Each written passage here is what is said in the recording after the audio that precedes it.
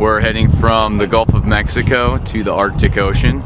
We're using the Mississippi to get up to the Minnesota, to transfer to the Red to get to Lake Winnipeg, and then a sequence of rivers there to get to the Arctic Ocean. We left January 2nd. We're supposed to be done in early September.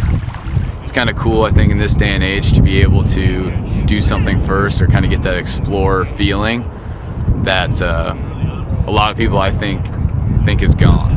Every route that we're going on has been done before separately, but it's never been linked up from the Gulf to the Arctic this way. The lock and dance, dam system was quite a bit different and it slowed down the current quite a bit. So down south it seems a lot more wild and you got the wing dikes coming around, higher currents.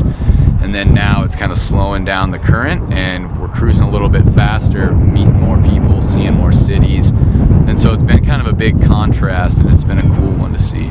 I think my favorite part though is the people, like coming from the interior of Iowa, you know about the Mississippi, but you're not, you didn't grow up on it. You're not familiar with how into and connected the people are with the river. So I think that's been my favorite part is just meeting the people and connecting in that way around people that are really stoked about the river. So we're probably two, three minutes between each boat. So you can't really talk to the boats, but you're obviously with somebody else as you're canoeing.